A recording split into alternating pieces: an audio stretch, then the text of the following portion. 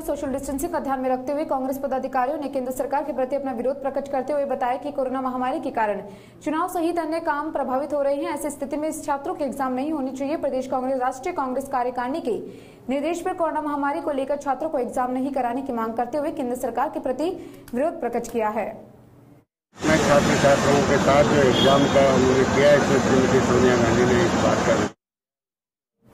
मैं का